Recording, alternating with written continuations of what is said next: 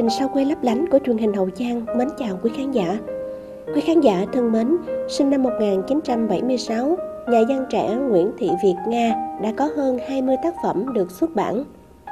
Đọc tác phẩm của chị, người đọc sẽ ngẩn ngơ say vì chuyện chị kể rất đời, không khuôn sáo. Những câu chuyện góp nhặt từ cuộc sống mà chị viết ra sẽ làm người ta rai rứt bởi dường như phía sau những câu từ của chị thể hiện qua tác phẩm là sự dùng nén, khắc khoải, khát khao, những điều tốt đẹp.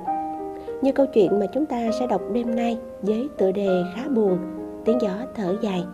Mời quý khán giả cùng nghe.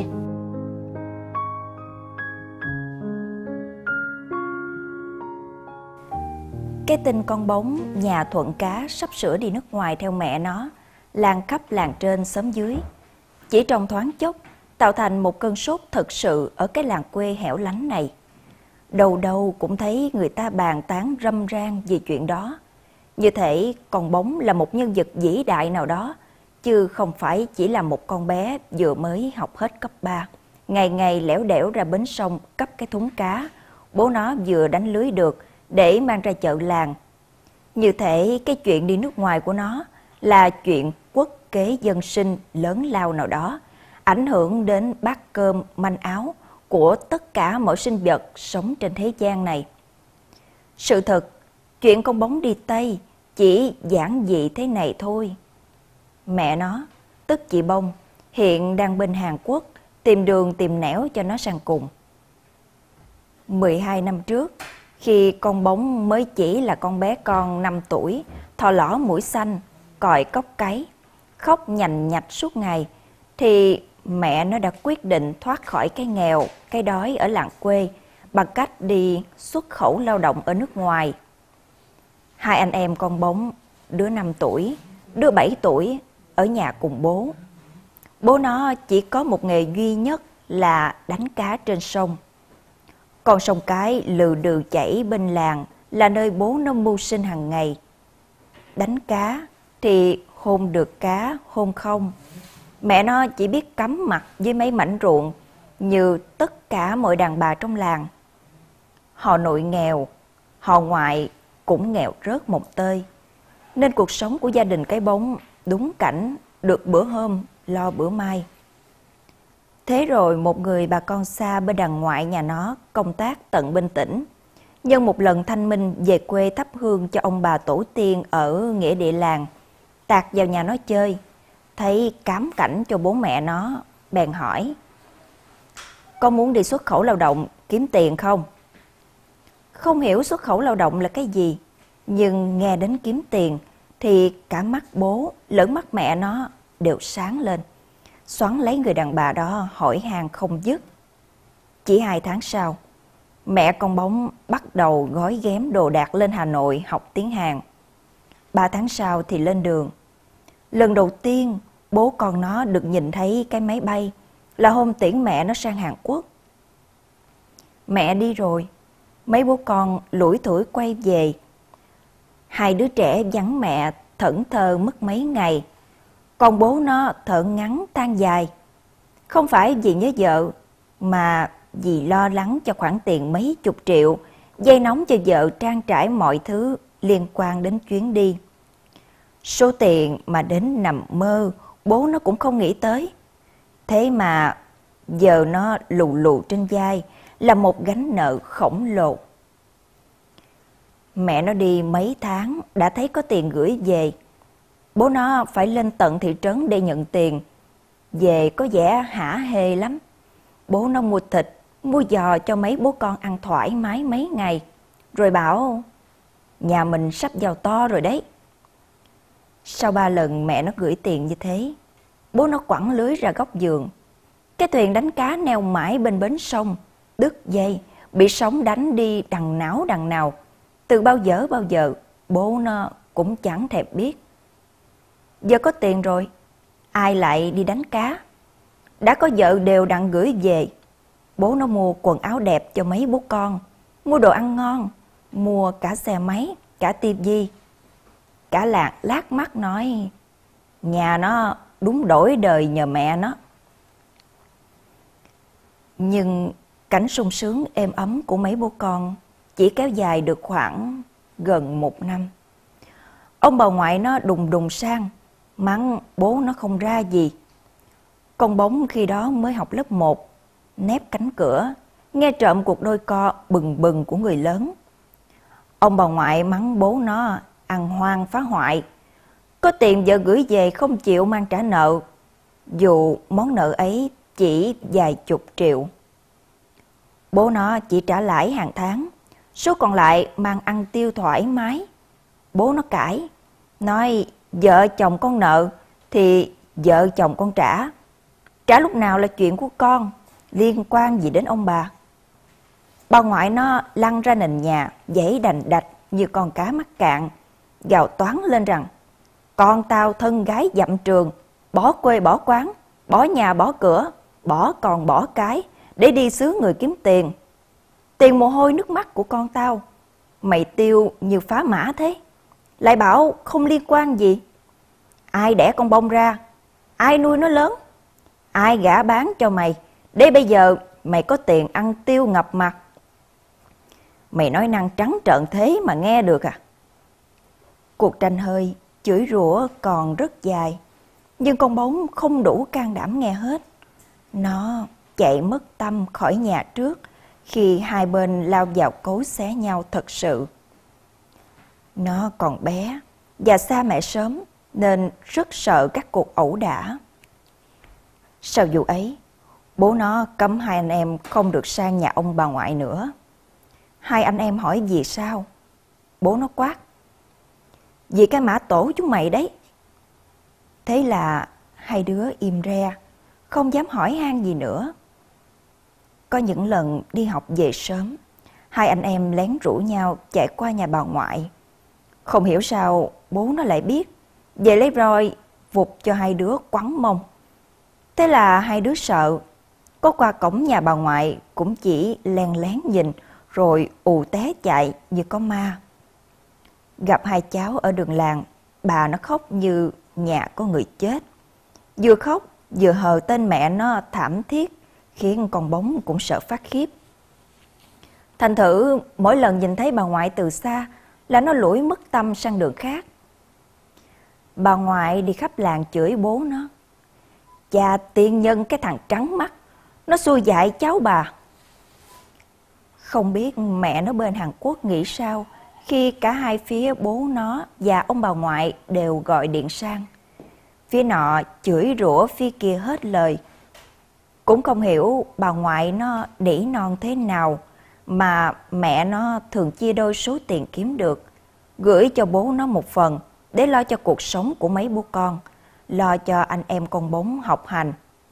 Còn phần kia gửi về ông bà ngoại, nhờ ông bà ngoại trả nợ, nếu còn thì giữ giúp, coi như tiền tích lũy, để khi mẹ nó về nước còn có chút vốn liếng. Khi biết được điều này, bố nó lồng lên như hổ đói, thấy mồi mà không dồ được. Hai anh em con bóng là chỗ cho bố nó trút giận. Không mấy ngày chúng nó không bị bố nó lôi ra đánh vì những lỗi rất dớ dẫn mà không đứa trẻ con nào không mắc. Để gà bới bếp, quần áo bẩn thỉu, nấu cơm bị khê hay luộc rau bị nát. Cơn ác mộng có mẹ đi Tây của anh em con bóng kéo dài ba năm. Ba năm sau, mẹ nó về vì đã hết hợp đồng lao động. Ngày đi đón mẹ, lần đầu tiên gặp mẹ sau mấy năm mẹ con xa cách. Con bóng cứ nép mãi vào bố, nhìn mẹ rụt rè. Hình như bố nó cũng thấy ngại ngần. Mẹ nó mặc váy, có phấn son trên gương mặt, lại còn có cả mùi nước hoa thơm phức, trông trẻ trung, xinh đẹp và lạ lẫm. Cứ như không phải mẹ bông của nó. Mẹ bông của nó ngày xưa không như thế. Bố nó, dù đã chọn bộ quần áo tươm tất nhất, thì vẫn đèn đuổi và cũ kỹ. Niềm vui hàng khuyên chưa dứt, nỗi hân hoan vì mẹ mang về cho rất nhiều quà bánh và áo quần đẹp chưa dứt, thì anh em con bóng lại đối mặt ngay với những điều khủng khiếp. Bố mẹ nó đánh nhau chí chết ngay trong đêm. Theo lời bố nó thì mẹ nó là con đỉ, đang ngủ với chồng, lại nghe điện thoại của Giai, nói toàn bằng tiếng Hàn, bố nó chẳng hiểu gì. Nhưng rõ ràng là tiếng đứa gọi đến là một thằng đàn ông. Cơn cớ gì mà đang đêm gọi điện? Mẹ nó gào lên to hơn, bảo ông chủ bên đó gọi, hỏi có muốn làm tiếp thì sang. Mẹ nó chịu thương, chịu khó, nên người ta quý. Người ta làm gì biết tiếng Việt, nên chả nói tiếng Hàn, thì nói tiếng chó hay sao? Bên đó người ta đi làm cả ngày, đêm về mới rảnh, mới gọi điện. Đầu như cái giống vô công rỗi nghề, chỉ có đi ngồi lê hết làng trên xóm dưới, gà chưa lên chuồng đã rút lên giường. Lời qua tiếng lại ngày càng quyết liệt và kết thúc bằng trận cấu xé nhau. Rồi mẹ nó một tay dắt con bông, một tay ôm quần áo sang bên ông bà ngoại, ngay lúc gà gáy sáng. Lần thứ hai, mẹ nó quyết dứt áo đi Tây sau khi bố mẹ nó đưa đơn ra tòa đến mấy lần. Bố nó bảo, ông cứ không đồng ý bỏ, cho chết cha mày đi. Tòa gọi lần nào là bố nó vắng lần ấy. Nguyên nhân để mẹ nó quyết tâm ly hôn, theo lời ông bà ngoại đi rao khắp làng là tại bố nó ăn hoang phá hoại. Tiền vợ đi làm gửi về, bố nó tiêu hết gieo. Nợ không trả, không lo thu vén, mà dựng lại cái nhà bếp, suốt ngày chỉ thấy phóng xe máy tích mù lên phố huyện. Rồi cái gì cũng hay, cái gì cũng biết, quán xá nào cũng rành. Con cái thì bỏ mặt, chửi bố mẹ vợ nhem nhẽm, ăn tiêu như thế, tiền tấn từ trên trời rơi xuống cũng hết. Nói gì tiền mồ hôi nước mắt, vợ lăn lộn xứ người. Bà ngoại nó gọi bố nó là cái quần trắng mắt. Cũng may, ông bà nội con bóng mất từ lâu. Chứ nếu còn, chắc hai bên ông bà nội ngoại cũng lăn xả vào cuộc chiến này mất. Bố nó cũng không vừa, lại đi rêu rao mẹ nó lao động xuất khẩu cái con chó. Đi đánh đỉ thì có. Làm gì có cái loại đi lao động xuất khẩu về mà chồng cứ động vào người là lại đẩy ra. Làng xóm được dịp tha hồ bàn tán, bình luận, theo dệt chuyện nhà nó, đến là rơm rã và thỏa mãn.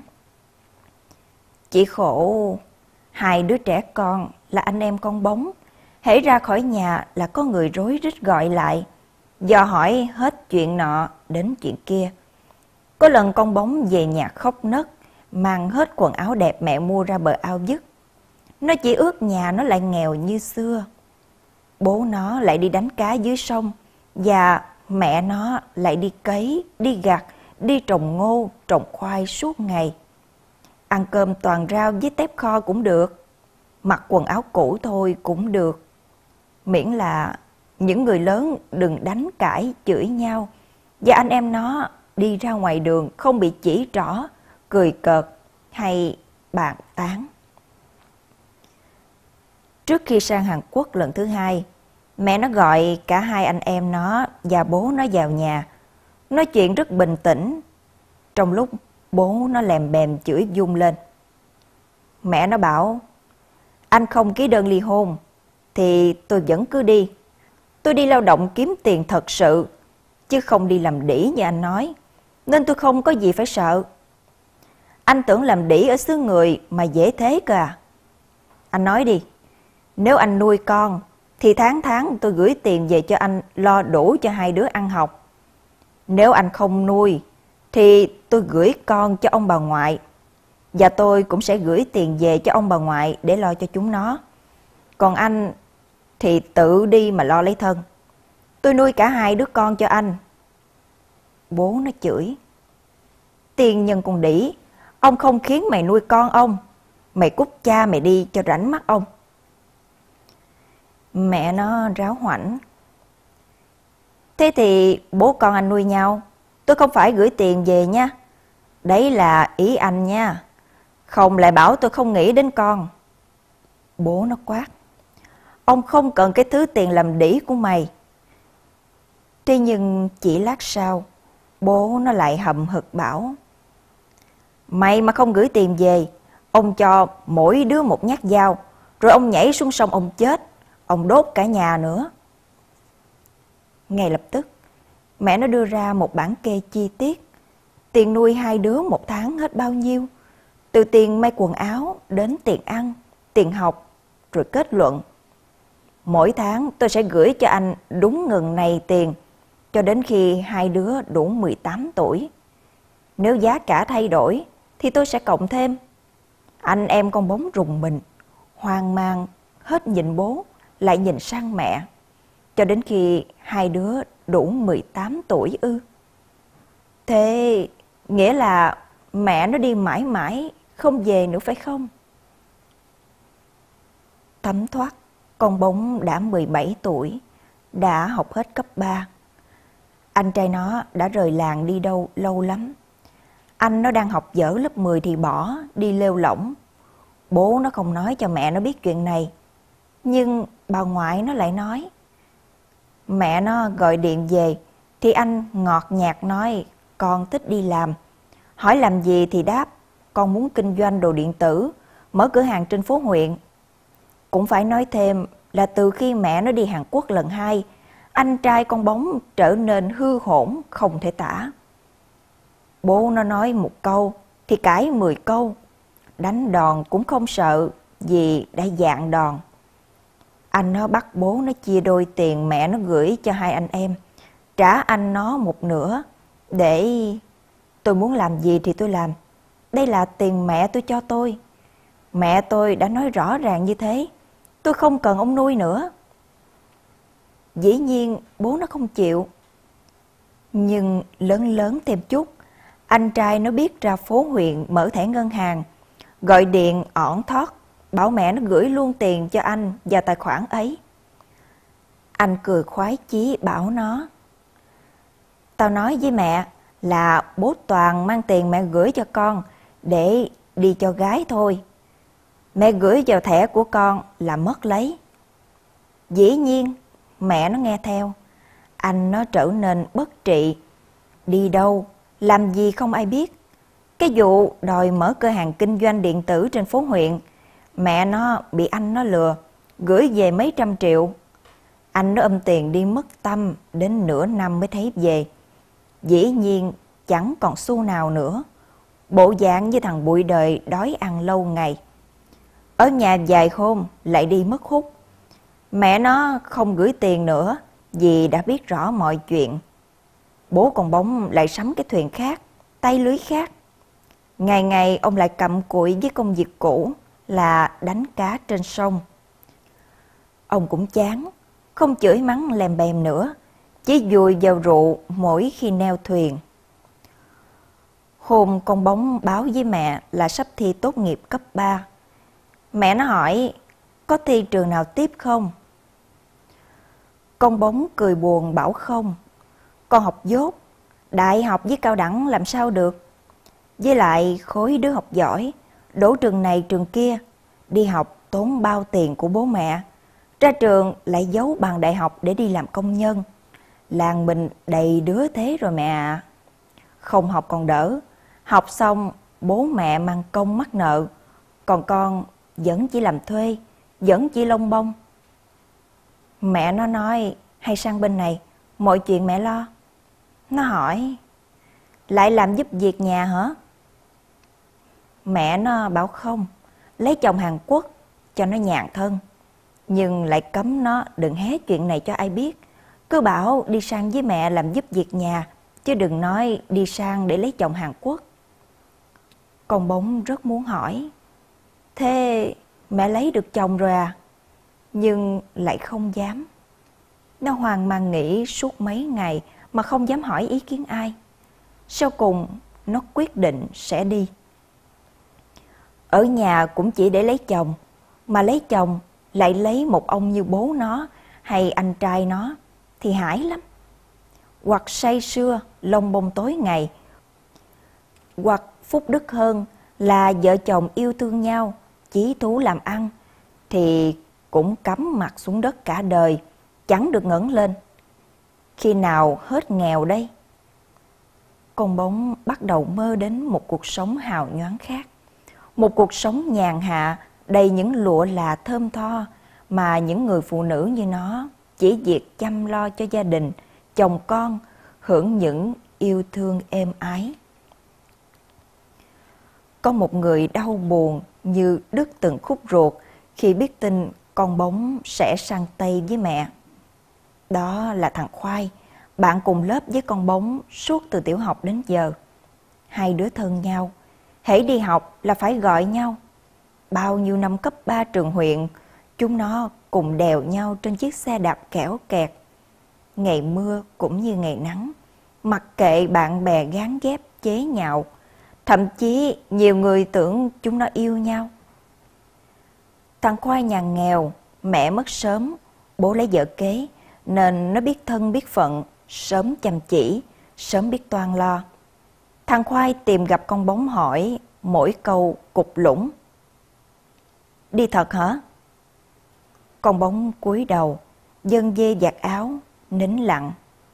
Cái cử chỉ đó đã đủ là một câu trả lời dứt khoát. Thằng Khoai bậm môi, tan nát lòng. Nó nghĩ đến những câu người làng hay cười chê, miệt thị mẹ con bóng là bỏ chồng bỏ con sang xứ người làm đỉ. Nó nhớ đến bao nhiêu kỷ niệm cùng con bóng trong suốt những tháng năm chung trường, chung lớp. Nó nhớ đến những lần cố gắng lấy can đảm để ngỏ lời với con bóng mà không thốt được thành câu. Nó nhớ đến những giấc mơ nó cùng bố và dì nó mang câu trầu sang hỏi con bóng về làm vợ. Hai đứa sẽ chung một mái nhà, sẽ cùng nhau cấy gặt, cùng nhau đón những đứa con ra đời. Nhưng bây giờ con bóng cúi đầu im lặng thế kia sẽ chẳng có bất cứ điều gì trong giấc mơ trở thành hiện thực. Ở lại, ở lại đi. Có, có được không? Thằng Khoai nói như hụt hơi. Con bóng bậm môi, trào nước mắt. Không phải nó không khi nào rung động trước thằng Khoai. Không phải nó không có những giấc mơ giống thằng Khoai. Nhưng ánh hào quang từ phía xa xôi lắm, cứ lấp lóe trước mắt nó. 17 tuổi, nó đã phải cân nhắc và so sánh giữa thằng Khoai với cuộc sống ở làng quê hẻo lánh này với một phương trời khác phương trời đầy những hào nhoáng có sức cám dỗ chết người. Mẹ nó đã dứt áo ra đi. Chắc hẳn nơi đó hơn hẳn nơi này. Những cảnh ngọt ngào trong phim Hàn Quốc được xem trên TV đã gieo vào đầu óc non nớt 17 tuổi của nó những giấc mơ thần tiên. Nếu ở lại, nó sẽ có thằng Khoai. Nhưng ngoài thằng Khoai ra, nó chẳng có thêm gì hết. Nó sẽ lấy thằng Khoai, sẽ làm mẹ của mấy đứa con, sẽ ngày ngày mệt nhoài mưu sinh để nuôi cả gia đình. Ngay cả thằng Khoai bây giờ cũng mới chỉ là một thằng bé 17 tuổi, tay trắng. Ước mơ lớn nhất là xin vào làm công nhân cho một công ty, lương mấy triệu đồng một tháng, đủ để nuôi thân. Thế thì bao giờ xây được nhà? bao giờ mua được xe máy, bao giờ sắm sửa nổi cho vợ bộ quần áo đẹp. Những câu hỏi quay cuồng khiến con bóng lặng câm trước đề nghị tha thiết của thằng Khoai. Thằng Khoai thất thiểu ra bến sông ngồi một mình như hóa đá. Nó thấy mình đang trong trạng thái không trọng lượng. Nó thấy mình đang tê liệt mọi giác quan. Chỉ tuần sau thôi là con bóng lên đường, đi xa, xa mãi, rồi mất hút. Có cảm giác nó vừa bị kẻ khác đoạt mất toàn bộ gia tài quý giá trên tay. Có lẽ ngày mẹ mất, nó cũng không đau đớn thế. Hay ngày đó nó còn quá nhỏ để cảm nhận được nỗi đau hiện hữu trong mình. Một mình nó với bến sông mênh mang. Chỉ có tiếng gió thở dài hôn hút chỉ có tiếng gió thở dài thê lương. Chỉ có tiếng gió khóc trong những giạt ngô, giạt đổ. Chỉ có gió buông tay trầm mình trên mặt sông lên loan, làm cuộn lên những con sóng giật giả vô hồi Quý khán giả thân mến, có người đã nói rằng nhà văn Nguyễn Thị Việt Nga sáng tác truyện viết văn như thể để thanh lọc tâm hồn. Nếu cách nói này là đúng thì truyện ngắn Tiếng gió thở dài mà chúng ta vừa nghe đã nói hộ cho hai tâm hồn mới lớn. Cuộc sống đã đẩy đưa hai tâm hồn ấy già dặn so với tuổi, giờ gánh nặng cuộc đời đã làm cho tiếng gió nặng lòng hơn. Giờ đọc truyện hôm nay kết thúc tại đây. Hẹn gặp lại quý khán giả vào giờ này ngày mai với truyện ngắn Hậu Thiên Đường, tác phẩm của nhà văn Nguyễn Thị Thu Quệ. Mời quý khán giả đón xem.